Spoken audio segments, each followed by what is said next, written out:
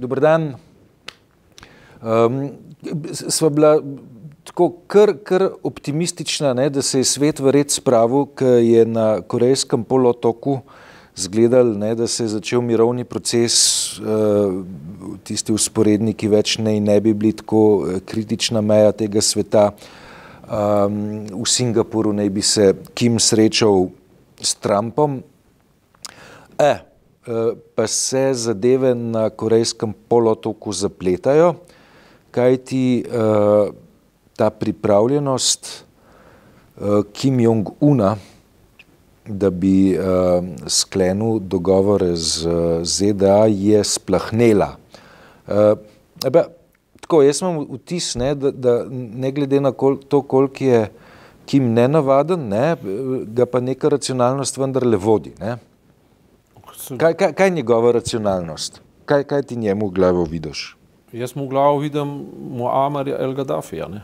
Ker Se pravi, njega so, so, so Gaddafija na podobno finto vrgli. njemu so rekli, da, da ga bodo obravnavali tako kot Gaddafija, Gaddafi pa potem v nekem, neki kanalizacijski cevi končal Zdaj se, prestreljen. zdaj se ne. v Gaddafiju tam v Ameriki, tam na CNN-u sem bral, se kar govori, sem zdaj ne vem, iz kjer, na katerem zelenku je to ime zraslo, po kakšnem kontekstu, ampak fakt je, da se, po, da se poudarja, kako leta 2003 so mu dali enako ponudbo, ne, v smislu razoroži se, a ne, opusti svoj program za zastrupljanje ljudi, pa svoj jedrski program, ki je še bolj v zametkih in tako naprej. No, on je to opustil na koncu, je pa po, po parih letih kon- končal v mrtvu, ne, v, Ja, v, v cevi pa neke, neke Ja. In Ki- Kim Jong-un to zdaj ve ne?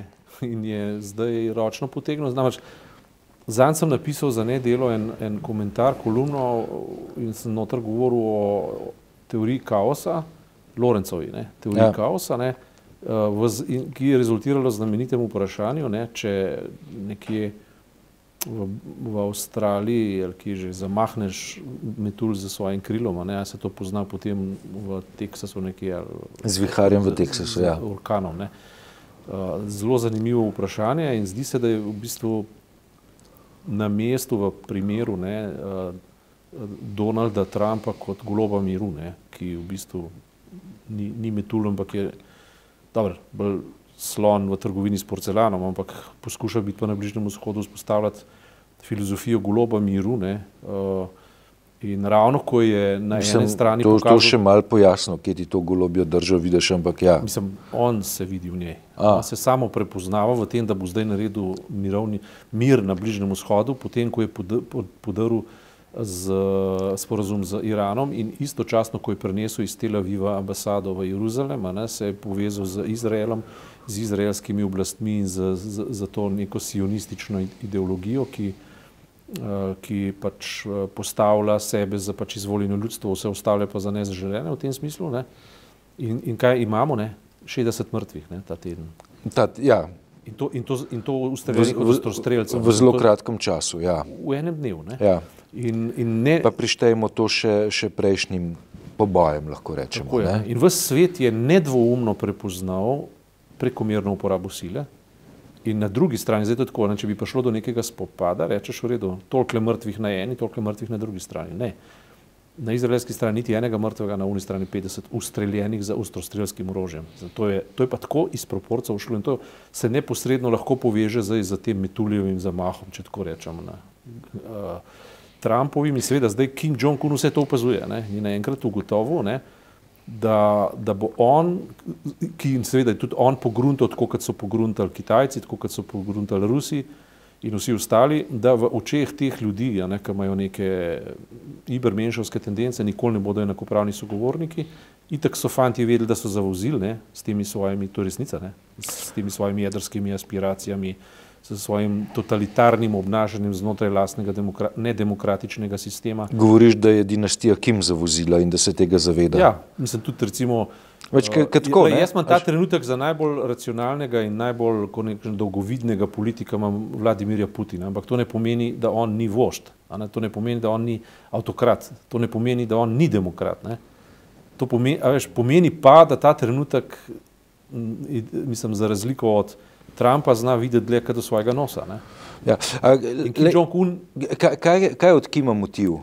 Njegov motiv je preživeti. Preživeti. Seveda, ne. Se pravi, da ne konča tako kot uh, Saddam v, v bunkerju, je. oziroma ja. potem na vešaljih, oziroma ja. da ne, ne konča kot On Gaddafi želel, v on kanalizaciji. neko-. Verjetno se je, se je vdal v usodo, da bo končal v neki kapitalistični tranziciji, podobno kot Kitajska. In to bi bilo za njega čisto optimalno. ne. Ja, pravi, ali pa- da, ali da pa- ohrani karakter njegove, njegove, kako ne rečem, vladavine, in družinske vladavine skoraj da, da posodobi državo brez večjih političnih poškodb. To, to je njegov cilj. Ne. Zdaj, a mu je Zahod to pripravljen dati ali ne, je drugo vprašanje, ampak to, kako ga je zdaj um, v bistvu Trump postavil v um, out, out pozicijo, nakazuje samo to, da se bo umaknil iz, in bo naprej rožljal z orožjem. ne. Skratka, spet smo v nekem volatilnem prostoru in zdaj, če to cepiš na to, kar se dogaja z Iranom, ko Iran dobesedno ponuja Evropi ne, podaljševanje tega dogovora samo znotraj nekega racionalnega okvira, v katerem oni ne bodo gospodarskih posledic utrpeli. Ne. Če to postaviš zdaj v kontekst tega, kar se dogaja na, na meji, med, oziroma na, na, na tistem zidu med, Palest, med Palestino in pa med uh, Izraelom. ne, Ja. potem vidiš, da smo v nekem izredno iracionalnem in volatilnem obdobju. Ne. Kar, na, kar, kar naj spet pripelje, seveda, v vprašanje, če hočeš tega zamaha metuljevega krila in slovenske notranje politike, ki je pa refleks iste logike. Ne, po, Kje je pa, kje je pa, kje pa tle vidiš metuljeva, metuljeva krila? Pa, Preprosto, ne, uh, vsako razpihovanje sovraštva na ja. osnovi, preračunljivi osnovi bitke za oblast, mo, moč in, in višjih ciljev, ne, uh, na račun človekovih pravic se ne izide dobro, to je poanta. Ne. In isto to, recimo, slovenska, slovenska politična scena ta trenutek v luči volitev pravzaprav ne pomeni dosti. Ne. Še vedno ustaja uh, rdeča nit to, kar smo že ugotovili, se pravi ta oska specializacija okrog uh, zdravstvenega sistema, pa so, socialnega, pa šolskega, se pravi, ali še branimo javno dobro ali ga ne, to je osnovno vprašanje. Ne? Pričemer ne nočemo pustiti dvoma, da, da, ga, da ga branimo. Pravi, to je ena tema zelo pomembna, druga so pa begunci oziroma razpihovanje sovraštva v odnosu do temeljnih človekovih pravic. Ne.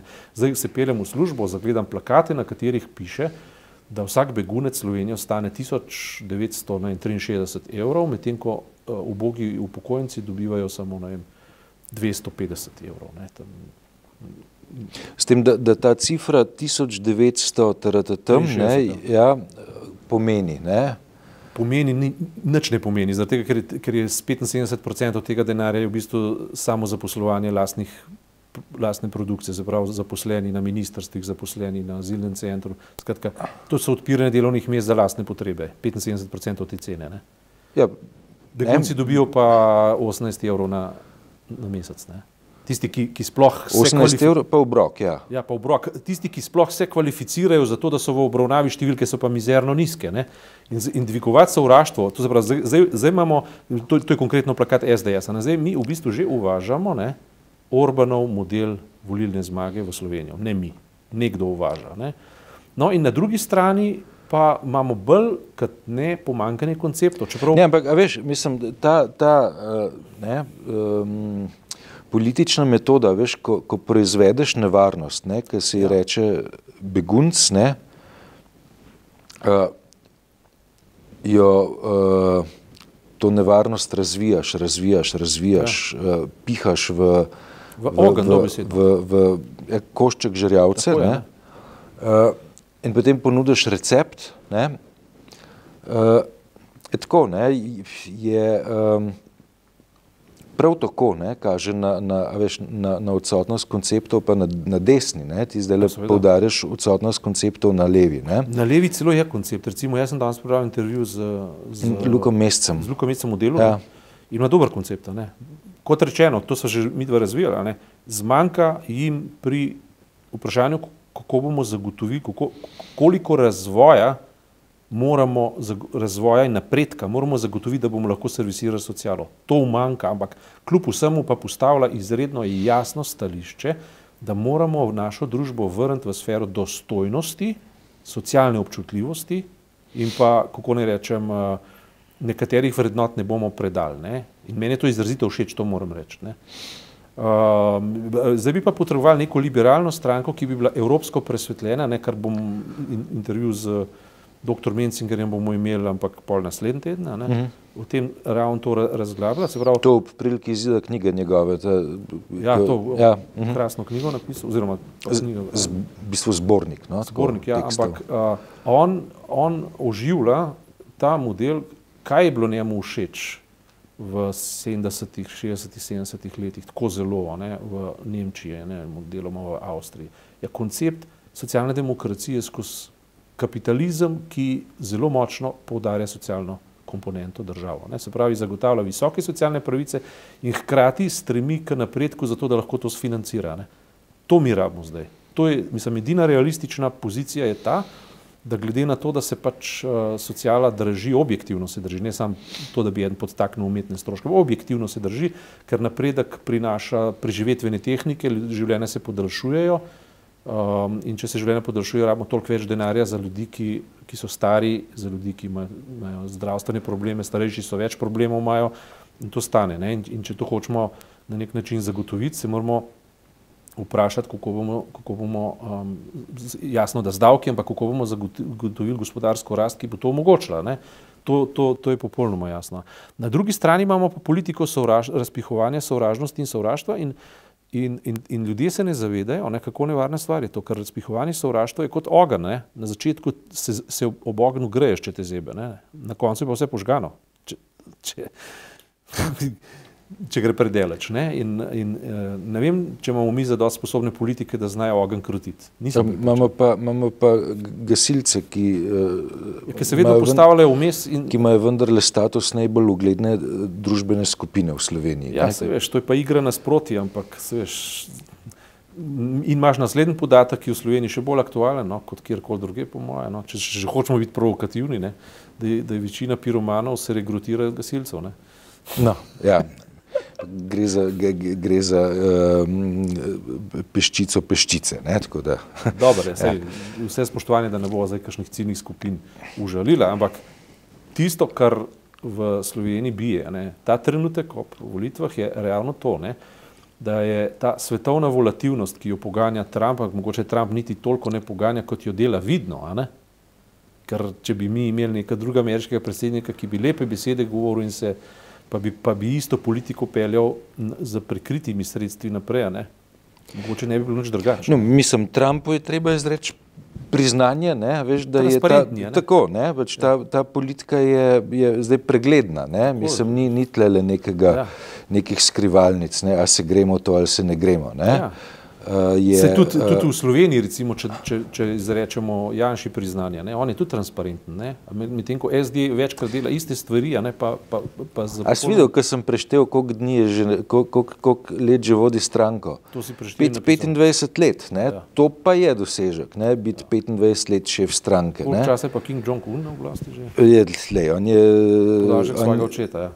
Pa, pa, pa svojega deda, ne, ja. ampak, a veš, um, sem računal, ne, Josip Broz Tito je um, ka, komunistično partijo Jugoslavije vodil um, kakšnih 15 tisoč dni, ne. Ja. Uh, Janša je zdaj na 9 tisoč dneh uh, vodenja SDS, nekoliko več, ne. Aber, ne, še, še nekaj bo treba oddelati, ne, da pridemo blizu, ne, ampak 25 let je epohalen čas. No, 15, tako se je rekel, 15 tisoč je bil tovariš Tito. Ja, no, od leta, od leta, od leta 37, od leta 37 do 4. maja 1980, ne, ko se je v Ljubljani to končalo. V Ljubljani na 15 tisoči uh, dan ne, postavimo spomenik Viktorju Orbanu, ne, spodaj bi pisali poklon Republike Srpske. Ne, ja, ja, ja. Hecam se.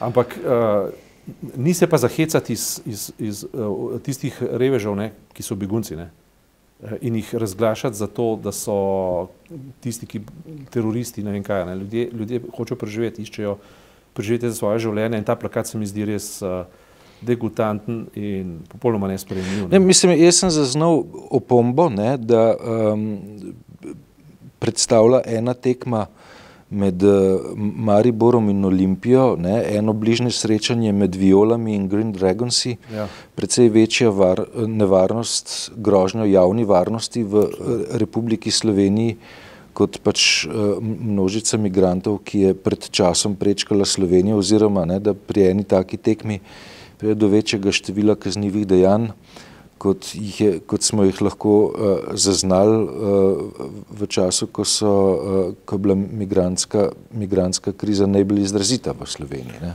Pa ti, veš, ti ekstremisti ne, in ti razpihovalci ognja se napajajo eno drugega ravno imenu kritike, ki bi jo namenjali en drugemu, v bistvu jo pa naslavljajo na tiste, ki so žrtve.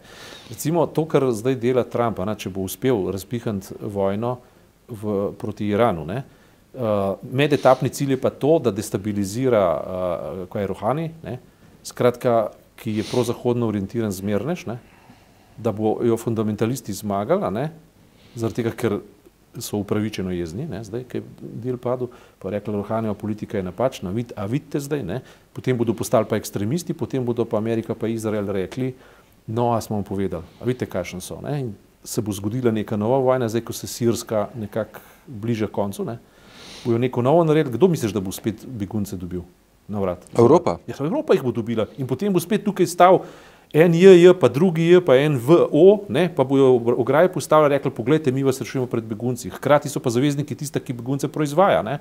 In to je ta bolana uh, začarani krok, ne, ki sploh ne vem, ne vem, enkrat smo se tukaj pogovarjali o tako imenovani politični korektnosti. Ne. Um, mi smo enkrat tudi intervjuvali z mladim dolarjem, prav o tem, ko je rekel, on pravzaprav, da, da pravzaprav ne razume, kako se levica ali pa akademiki izčrpujejo na politični korektnosti v smislu, hočejo biti uludni, dostojni, hočejo, na medtem ko z druge strani pa letijo največje hude žaljivke, tiste, ki se jih ne sme prenesti, pa, pa nekako je to samo umevno, pa vsi molčijo. Za te govorice pa res treba enkrat konc narediti. Ne? Nekdo bo mogel zelo jasno spregovoriti, jaz ne vem, zakaj tega ne naredijo močne institucije, recimo Ala Cerko, ki je uh, pač moral, ki bi naj bila, no, rečemo temu, moralna avtoriteta. Ti zdaj malo zahece. Zahece, ampak mi, jaz govorim, kaj bi bilo prav. Ja. Jaz, jaz bi pričakoval, da bi ena moralna avtoriteta tega tipa, ki pokriva prostor, ga zaseda, če hočeš, moralni mm. prostor, pa reči, uprostite, ampak v slovenskih strankah teh in teh, tega profila slišimo sovražno govorico, mi strogo menimo, da je to neprimerno in prosim, nehajte razpihovati sovraštvo. Če pa, če pa uh, v tem istem žargonu lahko slišimo, veš, da begunci predstavljajo grožno krščanskemu temelju Evrope. Zakaj bi to potem, zakaj bi drži, potem sam, katoliška crkva ne uh, oporekala? Na drugi strani treba pošteno povedati, da so bili prevladujoči deli katoliške crkve v begunskem valu izredno konstruktivni, ja. so zagotavljali velik denarja, karitas je zagotavljal. Jaz, sem, jaz sam sem bil približen že v tiste karitasove lajbelce ne, na, na dobu, ne, so, tam smo mogli nekaj gordat. Ne. Uh -huh. en, en, enkrat sem bil rdeči križ, enkrat sem bil a, a, Adra, enkrat sem bil pa karitas in tako naprej. In tam sem videl, da so Da, da je ogromno, zelo, zelo, bom rekel, človekovim, člo, člo, se pravi, človekoljubljih, predanih ljudi znotraj tega sistema. Recimo, eden od škofov se je pa tam iztrčal, pa je rekel, da, da nam bodo po, po muslimani. Zbrav, niso, ni bilo to eno umno. In jaz mislim, da prevladujoči vzorc med temi vernimi ljudmi je kljub vsemu pozitiven, ne, ne, ne fundamentaliziranim, uh, govorim zdaj v smislu politično fundamentaliziranim, ampak tisti imajo neko človekoljubje, ampak z najvišjega vrha pa ni prave besede, v smislu načelne besede. Ne. Mm. Zato, ker recimo na koncu koncev papež počne, se vam pa to jasno pove, se, se ne bi bilo v tem nobene herezije, se bi sam to delal, kar vrhovni poglavar reče. Uh, in to me moti zelo, zato ker uh, tle v končni fazi, če greva zdaj v Lorencovo teorijo. Že, ja, sem, a veš, tle, tle je tako, ne, a veš, da uh, govoriš o papežu, ki je latinoameričan, ne, ki nima te, a veš, ki nima te... Rečijo, da je kristjan, no? Ja, je, ne? Ampak, in Mencinger Jože je napisal eno poglavje, ne, ja. ko je razpravljal o socialni kapici in o programu NSI, ne, in napisal, kaj bi na to rekel papež Frančišek, naslov poglavja, ne? Ja, veš, le kaj, ja. Socialna kapica in vse te ideje, ki v bistvu odražajo v končni fazi nesocialno čustvovanje, ne? se pravi, bolj sposobnim dati več, zato da bojo še bolj uh, bogati, ne? mislim, bogati relativno skratka, da bojo še bolj pospešili um, vem, svojo razliko. Ne? ne vem, če je to zdaj zato, ker je on latinoameričan papež. Jaz mislim, da je on preprosto mož svoje osebine, se konec koncev isti um, pač evangelski vložki se berejo v Ljubljani kot v Buenos Airesu. Ne? Isti. Ja, ja, samo, veš, imaš v svetih tekstih um, je vprašanje, kaj boš vzel kot poudarek. Ja, seveda, lahko še staro zavezo. Zdaj, Tako, zdaj, zdaj je bil en pastor, veš, tam, v, kaj, to je bila polemika, je bil en pastor v Jeruzalemu, ne, ki je v Ameriki govoril, da bodo ljudje pogubljeni, zaradi tega, ker nimajo šans, da so zveličani, zaradi tega, ker so ne vem kaj vse. Ne. No, zdaj je bil pa on dol glavni govornik o tem, kako si Izrael zasluži, razlog, ki je izvoljen ljudstvo in tako naprej. Ne. In to je bila pa neka polemika. Ne. Uh, s tem potrjujem, kako raztegljivi so nekateri pojmi, ne, ki so lahko diametralno sprotni. V relativno kratkem času. Ne. So v času volilne kampanje, ne, veš, mislim, ja. je, je to razumljivo. Ne. Dobro, to za danes, hvala lepa. Okay.